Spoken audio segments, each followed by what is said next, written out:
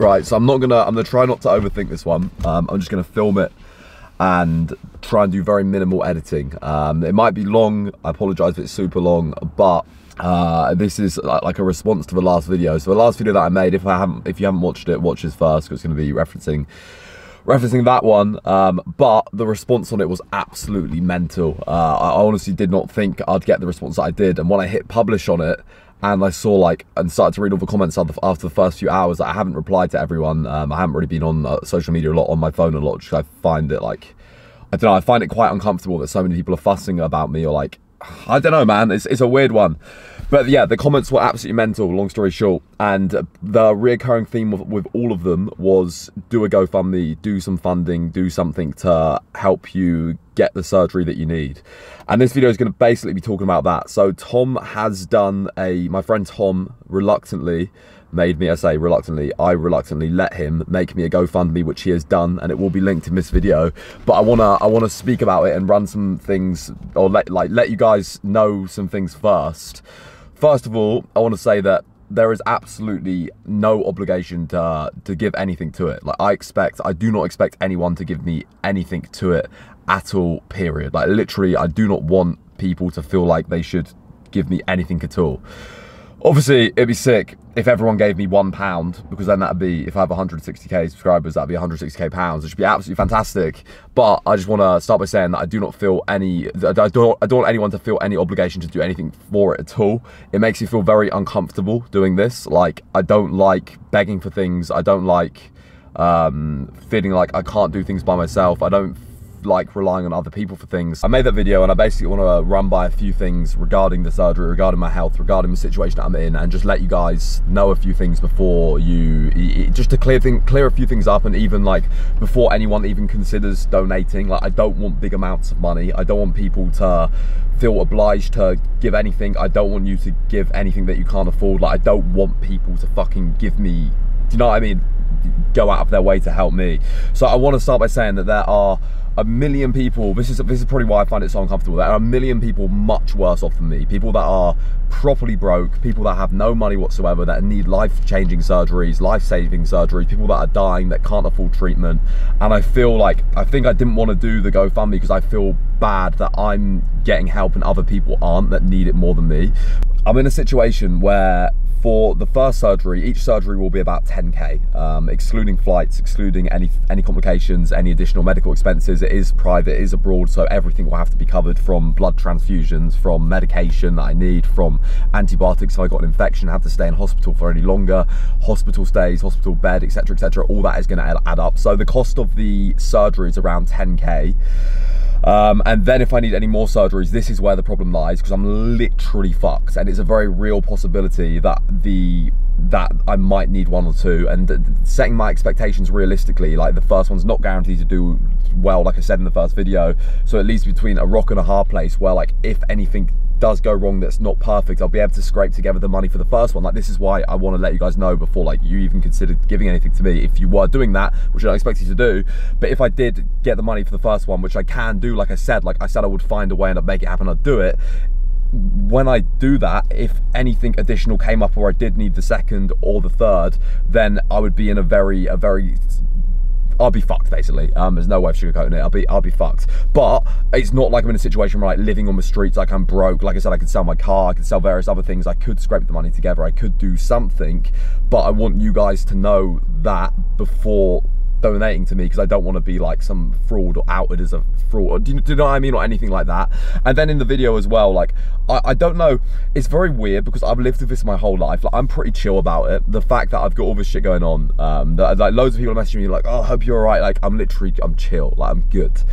Um, and like, I find uh, another thing, I find myself in a difficult situation where I don't know if I'm just overly blasé about it. Like I'm just I'm just used to this shit. Like it, it is what it is. I'm pretty chill. I'm sure it's gonna be very different. Like when I'm uh, lying on an operating table about to get anesthetized, like put to sleep. But now it's I'm pretty chill. Like I'm not really worried. It is what it is. Like I'm taking it as it comes. Um, so like part like I don't know whether I'm being too blasé about it or I've like exaggerated it in the video and everyone thinks I'm going to die next week or something. So I want to make it very clear as well that I'm not gonna die within like a week or two. It's like I said, there's people much worse off than me. I haven't got like terminal cancer or anything like that. The the situation is is I've got lymphedema, I've got this issue with my lymphatic system that extends all the way up into my kidneys. The lymph nodes are incredibly bloated and I don't know what you'd call it, like 10 times the size. Um, I've had a few specialists as well message me since seeing that video who actually follow me in lymphedema and being like, bro, you're fucked. Don't mean to scare you, which is kind of good because then it feels like I, I, was worried about like making it sound like it's too bad. And I was like, okay, cool. These guys also said fucked sound. Um, and then I've also got hyplasia as well, um, which a little Google will reveal it's like a pre-cancerous type of cell within your lymphatic system, which is obviously not good because it's kind of connected to your whole body. Um, but I do not have cancer. Um, I do not have like two weeks left to live. It's something that in the future might reduce my life or probably would reduce the expectancy of my life and get worse over time, or it definitely would get worse over time if I leave it. So that's the reason for the surgery and that's kind of as as um, straight to the point as I can explain with the with the situation. And then the other thing I wanted to say as well, before actually speaking to the video, the other thing as well, don't you dare give me any money, is that this is why I didn't want to do a GoFundMe because I don't want to look like you guys to like think be like this guy's just fucking mugged us off. I have a trip to to Spain booked um, with the GoFundMe money. Nah, um, I've got like one of these 70 pound uh, trips to Spain booked that I booked before making that video and before doing this and before even realizing that a GoFundMe is going to be made for me. It's like 70 pound flights to Spain because I'm going to miss out on summer. Me and my girlfriend have done that and that is on the 1st of May. I'll make a YouTube video on it, but I just want to let you guys know that obviously the cost of living crisis, people are really, really fucking struggling. And like the fact that people are willing to donate to me absolutely blows my mind. But I don't want to people to feel obliged to do it, which they shouldn't be, and then watch like or see me and be like, what the hell? This guy's in Spain when I'm struggling. I've just given him like some of my hard-earned money, which I don't want you to do. But yeah, um, I've got like I booked like a 70 pound flight to Spain um, from the like for a few days at the start of May um, as a bit of a trip away because my birthday's around then as well. I'm not really going to have a summer. I'm going to miss out on a lot of summer um, with my girlfriend. My girlfriend sorted that. Um, I wanted to let you guys know that as well and be completely transparent and completely open because I feel like I owe you an explanation of everything um, if people are going to be, yeah, if I'm a fucking charity case. I'll give you a little bit of an insight anyway into into like what it kind of or the story with the condition um, as we're here as I'm sitting a freaking lay-by in the car. Um, I've had it for about so I've had lymphedema, uh, the condition of my legs is about 10 years old, and basically what happened was one day I I, I can't remember my mum would be able to tell you better, but one day I had this like pain in my hip or my knee, um, and that was really bad. Like, I remember not being able to walk for a few weeks. So I had to be able to be carried around everywhere. Because I'm a pretty normal active kid. Um, and then I had this like that kind of subsided after after I think it's I don't know if it's a few weeks or a few months. Obviously you remember things being a lot longer when you're younger. Felt like a few months but that subsided eventually. I was in agony like I couldn't walk anywhere. I had to be carried around like numerous hospital visits seeing specialists. And then I had this like swelling in my leg just in the lower half of my leg that wouldn't um, wouldn't go away and uh, and after months and months and months and hundreds of tests, they eventually I'm exaggerating. It's probably like ten tests. Um, they uh, they eventually diagnosed me with lymphedema, um, which is basically damage to your lymphatic system through unknown causes normally. Like cancer patients get it after they get their lymph nodes removed. It's very common in uh, breast cancer.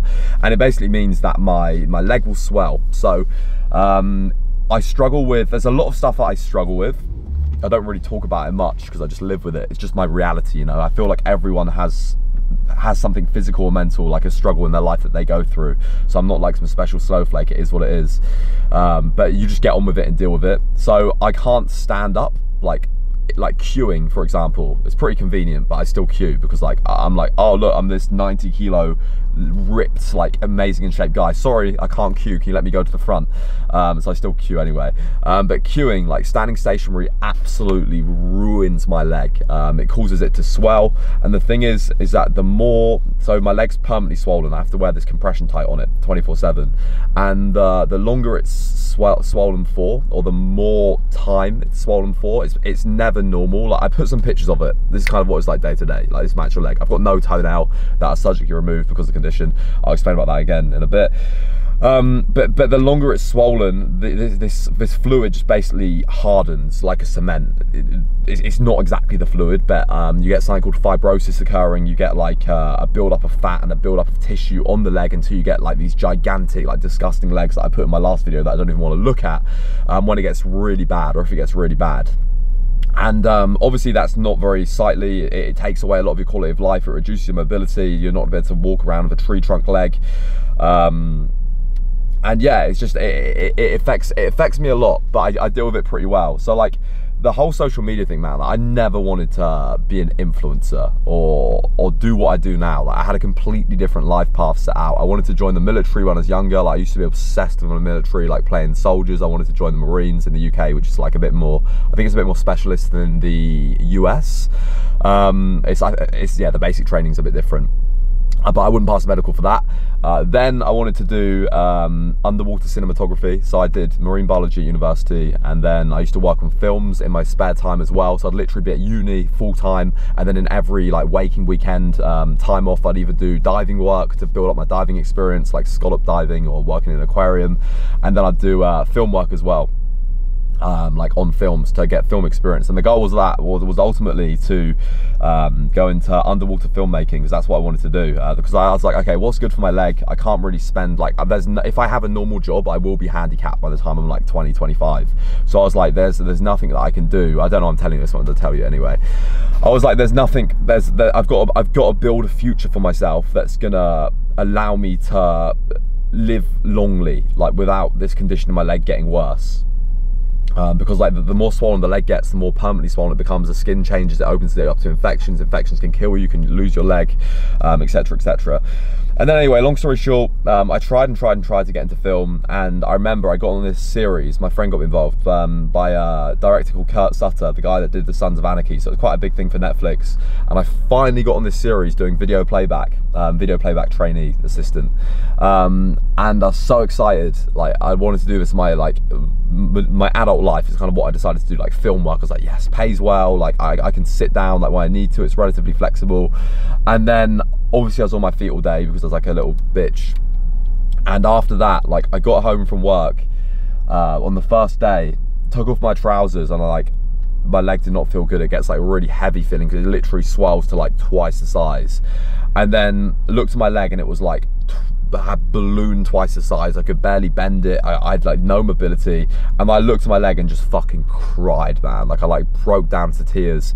And it just felt like my entire life was over. Like I was like, there's nothing that I can do. I'm literally destined to be a freaking uh, wheelchair user or a cripple by the time I'm like in my in my mid 20s. And yeah, long story short, um, I was doing, I was making YouTube videos at the time anyway, just kind of like a bit more of, as a bit more of a hobby.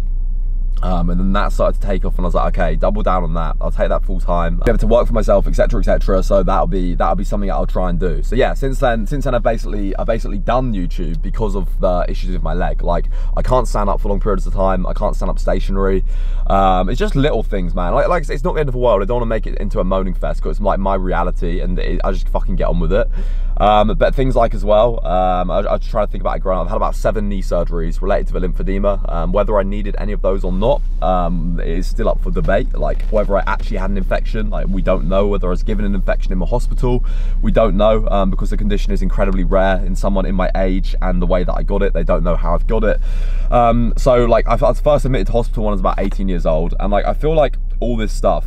I'm just to tell you my life story uh, with the leg condition. I feel like all this stuff um, anything that happens to you like you can whether it has meaning or not is up for debate but i feel like you can add meaning to things. So like you can you can take meaning away from things that are gonna benefit you and ultimately get something good out of the situation. So like when i was about 17 18 i think i just turned 18 I had this issue with my knee. My knee was incredibly swollen. Um, I was literally crippled again.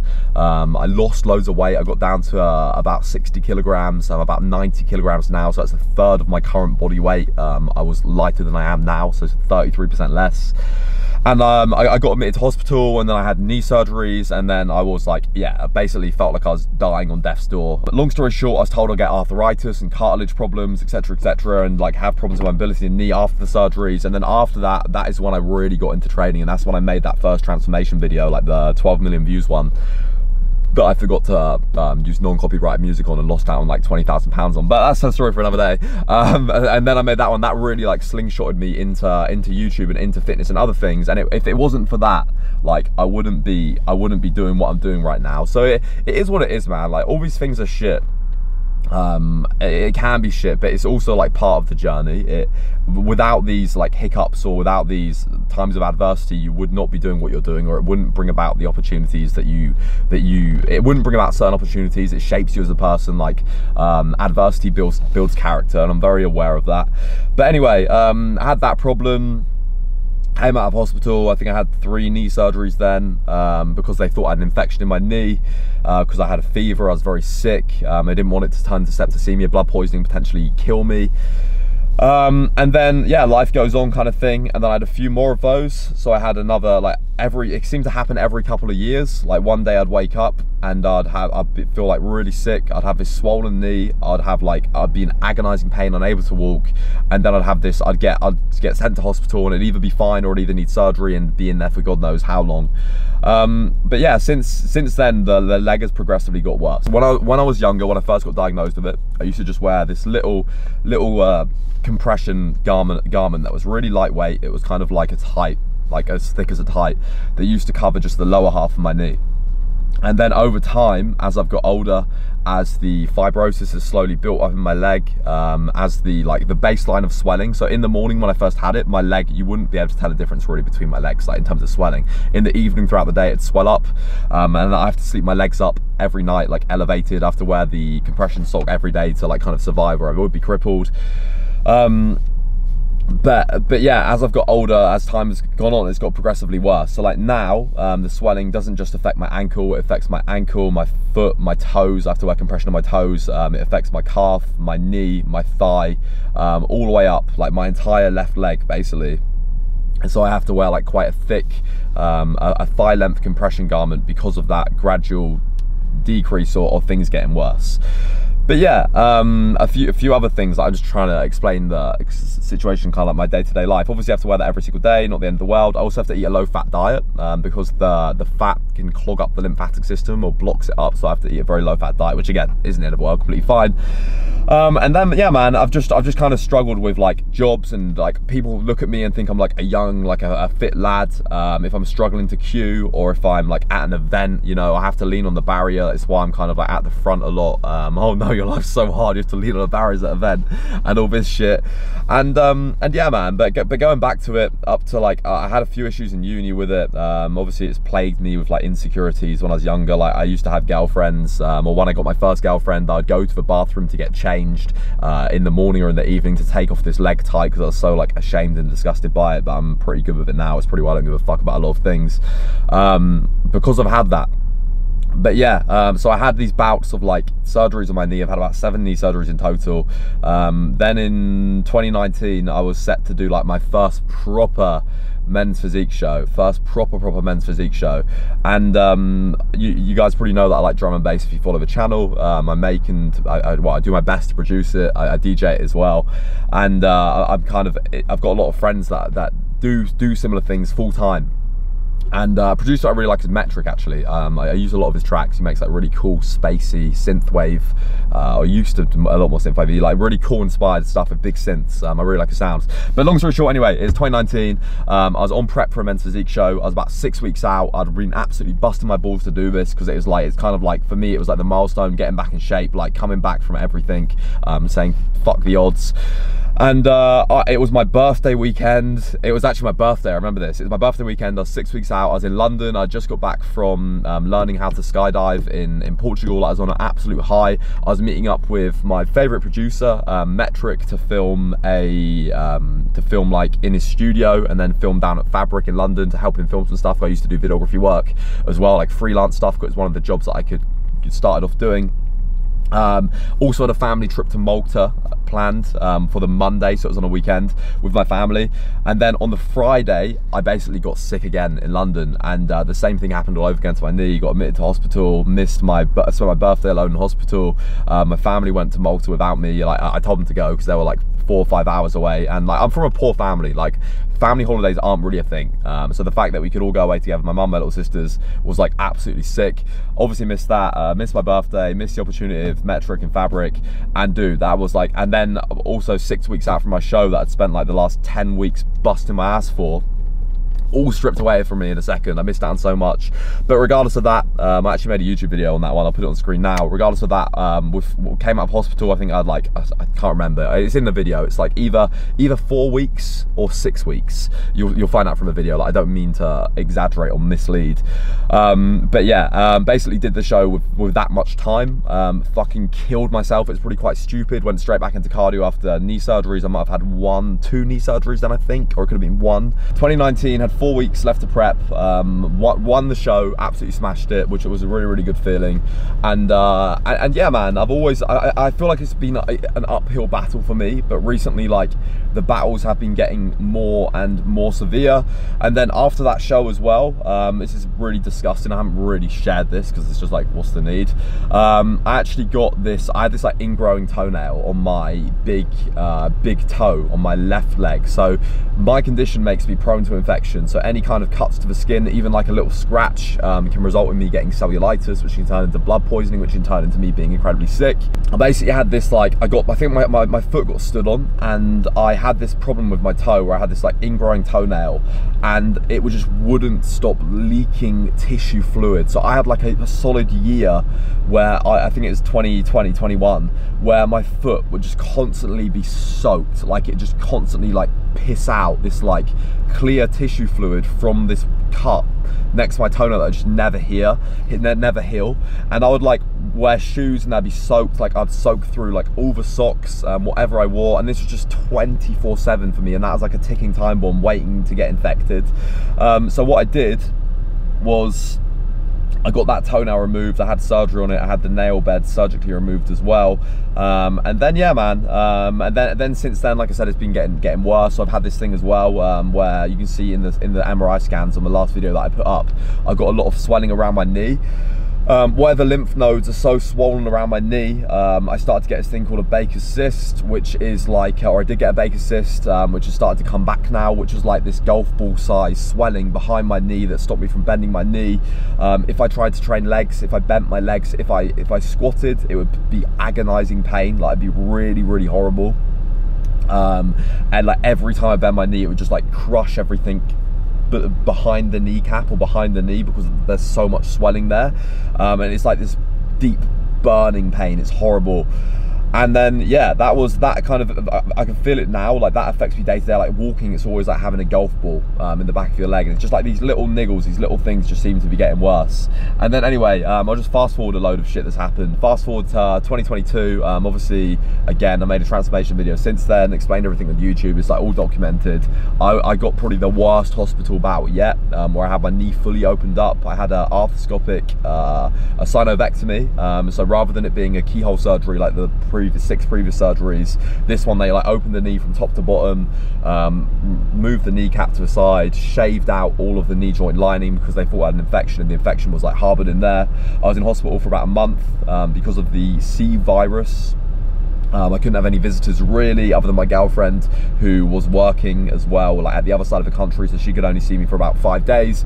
Spent a month in hospital, uh, went through probably the worst, well, definitely the worst pain I've ever been through in my entire life. Was prodded and poked with things, and and yeah, man, and that like put me very close to breaking point. Like in that first, like in that last week, like I was just like, yeah, I'm done. Like, because I, I, kept thinking I was going home, then I'd be another surgery and another surgery and another surgery, and like I, have never experienced pain like that in my life. Like, I've made a full follow-up video um, explaining the time in hospital and explaining it, which will explain it better if you're interested. But long story short, it's like things have been slowly getting worse. And I live in denial of that. I continue to live my life like it's probably why I live my life like I do doing all these fun things and doing as much as I can but the condition has been worsening.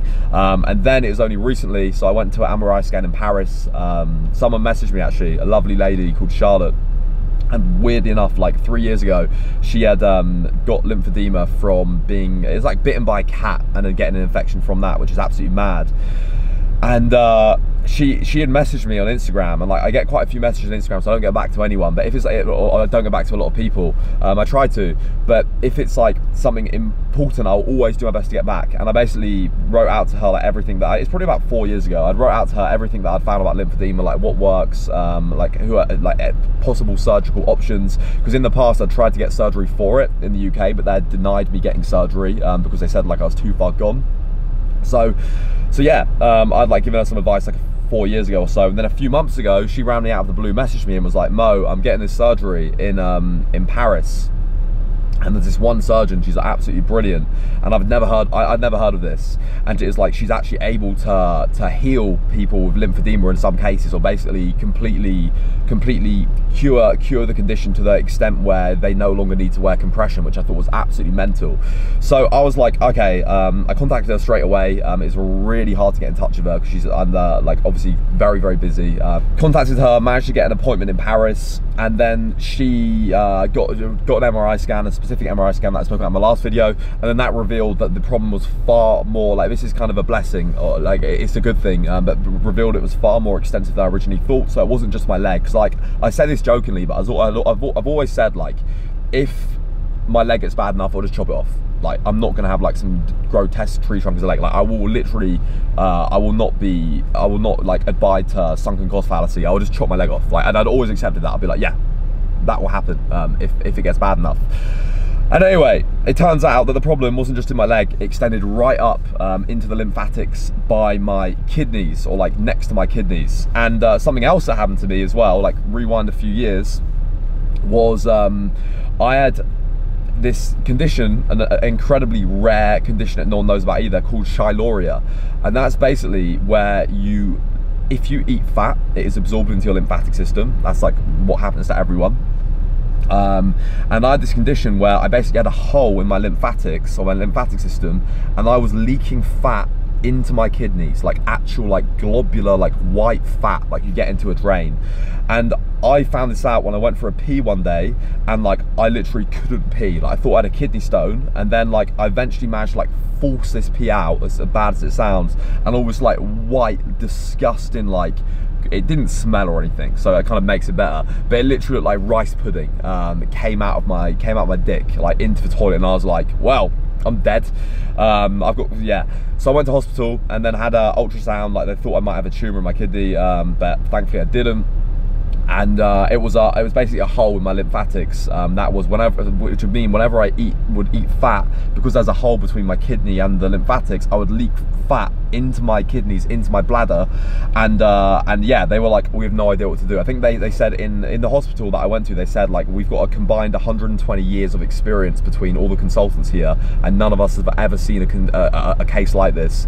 And they were like, um, we don't know if you need surgery, we don't know if you. They, they literally just said to me, it was during the um, lockdown times as well. They're just like, just, uh, just yeah, good luck pretty much. Um, and it was all incredibly slow. So I kind of took that into my own hands and I stopped eating again. I made a YouTube video on this. I stopped eating fat. I think it's about six months. I went on a zero fat diet, no fat whatsoever, um, which is obviously you will die on eventually. You cannot live without no fat. My hair was falling out. I started to get eczema all over my body um, because my logic was that if I stopped eating fat, it would like stop uh, it would it, because it's passing through his hole or wound the way that I saw it is pretty really simplistic it's fistula it would eventually it'd allow it to heal. So I just stopped eating fat until it would go away and I was like okay I don't know how long this is going to be I don't know how long able to do this but I'm just literally not eating fat. So I did that and then after about six months um, one day I went to the toilet and I was no longer pissing out white stuff. It seemed to miraculously heal itself without surgery. But the, the reason I'm saying this because fast forward again to when I saw the surgeon um, in Paris um, I've got the MRI scan, and then she's been like, "Oh yeah, like this is probably why you had this condition to begin with, because all of your all the lymphatics up here are all like fucked up as well." Um, she didn't actually say that. She's very French and, and proper. Um, and yeah, and then she was like, okay, so what they want to do is she she wants to do an operation basically, as far as I understand, where she creates like multiple bypasses. So like a like a bypass surgery like in your heart. She wants to like bypass the lymphatics that are blocked in that region, and then the idea is is that that should allow the lymphatic fluid to drain properly from my entire that entire side.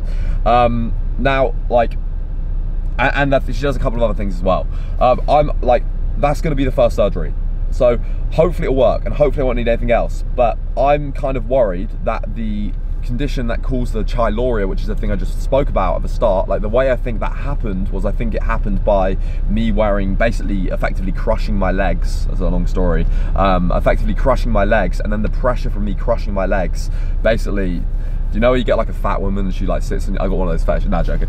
Um, basically the pressure from crushing my legs um, caused like a vessel to rupture, a vessel to burst. Like my concern is that that damage all up there is like my own self-inflicted thing that I did when my legs were crushed um, and that she'll she'll when she fixes that that might solve that issue but the underlying issue that solved the lymphedema is still going to be there because the chylorrhea I had about three years ago when I had the leg crushing was about three years ago. Um, but I've had the lymphedema since about 10 years old. So like I'm kind of worried that the first surgery might might fix the lymphatics up in that region but because like maybe I'm oversimplifying it but because the um, the issue extends all the way down into my leg and I've had that since I was 10 like maybe there's something else going on as well which is going to require multiple surgeries. So that's why I was kind of like in a rock and a hard place with it. Because if I have this one surgery and then it does nothing and I've like busted my balls paying for it and all the aftercare and everything and then she's like yeah you need uh, you're going to need a couple more surgeries I'm literally screwed. Or if it goes wrong I need like re re re restor restorative reparation you know surgeries that basically fix the problem then I'm also screwed. So um, my good friend Tom, he texted me and he was like, mate, get over your ego, don't be an idiot. I'm making you a GoFundMe. You're putting it in a YouTube description. You're making a video about it. Do it. Has made me a GoFundMe. And yeah, that's where we're currently at right now. Hey people, I just want to jump on here really quick and say that the, the video that you're currently watching right now, I recorded that literally immediately after the other video went live and I started to get comments on it. So it's about 24 hours afterwards. It's now two or three days after I've recorded that video because the memory card was corrupted. Um, I've spent like the last three days trying to get the footage back. I've tried to re-record it, but I felt like it wasn't authentic. I've spent hundreds of dollars and I've finally managed to get the original footage back um, that you're watching right now. And I just want to say, like, I haven't shared the GoFundMe yet, but the, the like properly other than in the YouTube comment, and uh, on my Instagram story once. I haven't really pushed it at all, but the response has been absolutely nuts. Like the donations from so many different people have been absolutely incredible. Please don't donate a lot. Please don't feel like you're obliged to donate, like I said. But I want to say from the bottom of my heart, thank you. Like I literally never respected, never respected, never expected so many people to give a shit. Um, and it's mad that like I've had such a, or some of my content has had such an impact on the lives of people that feel like it's no problem to donate to a stranger on the internet because I've given you value at some point or the other through my stupid videos or podcasts or whatever it is. So a massive thank you, man. A thank you to Tom as well, who made me set it up because it would have been a real struggle for me. I want to say that, like, really, really reiterate that anything over the target or anything that's not spent, even if I, let's say I only get one surgery and it works out at 10K, um, anything that is not used will be the, the, direct on medical expenses, obviously, will be 100% donated to a charity, um, probably something relating to lymphedema, people in impoverished parts of the world like Africa that can't afford Africa, can't afford medical treatment. I just feel like one of those um, like entitled white people in Africa, I'm a gap year. But you know what I mean? Because out there it is a problem as well. And uh, obviously there's a lot of poverty and uh, healthcare isn't as good um, in certain places. So it'd be really, really good to help out people that aren't as fortunate as I am to have like such a crazy social media following. And, uh, and yeah, I just want to say like a massive thank you. And also, this has kind of made me realize that the podcast I did was so impactful on so many people. So seeing as I'm going to be recovering from surgery, as a bit of a thank you as well, I'm going to bring it back uh, for 10 episodes. I literally get asked about it every single day in the DMs. It's mental. Like, it blows my mind. It's definitely the most impactful thing I've ever done. And then the amount of people that have messaged me about the podcast and how, like, being like, it's the least I could do. You, you've helped me so much through, especially during lockdown. The other things, I don't want to get, like, all fucking full of myself. But the, it just kind of maybe kind of, kind of made me realize that that was, that had like such a positive impact on people. So what I'm going to do is bring it back for 10 episodes guaranteed, uh, the podcast. If it does really well, I'll keep doing it. If you guys like it, I'll, I might keep doing it. I might keep like pushing it if it gets the views, if it's getting the shares, if people are enjoying it, if it's giving people value. Um, but I will guarantee you 10 episodes and then we'll go from there. So yeah, lots of love. Thank you for watching the video. As you can tell, I'm probably a bit uncomfortable with the uh, and overwhelmed by everything that's happened. Um, it's absolutely insane, and I just want to reiterate as well that I'm literally fine. I'm good at dealing sh- with shit like this. This is probably like the most like emotional I've felt out of this whole thing because like I don't know how to respond to people yeah, to this. But yeah, I'm, I'm all good. It will be fine. Um, I'll take you guys along for the journey. Um, let me know if you want to see some graphic surgery videos as well, because like I'll see if they can get um, see if my girlfriend can go into the operating theatre as well. Can I put that on YouTube? I don't know. Um, as well, do that. Um, so yeah, yeah. Anyway, peace out, people. Love to. Thank you. Good night.